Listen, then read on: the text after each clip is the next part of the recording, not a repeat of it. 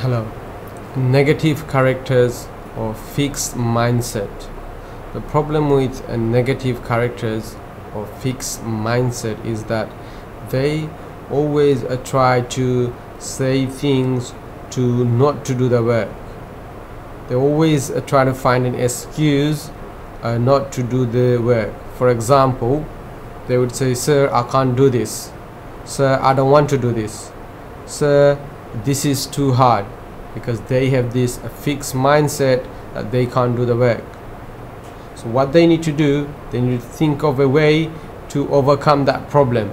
So rather than saying, "Sir, I can't do this," they need to say, "I can't do this at this moment, but I am going to try." Unless they do that, it will be very difficult for them to be successful because all the time they're looking for an excuse not to do the work.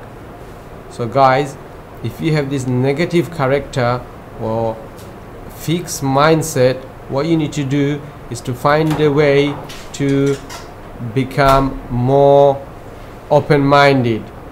You need to find a way, like, such as I can't do this at this moment, but I am going to try.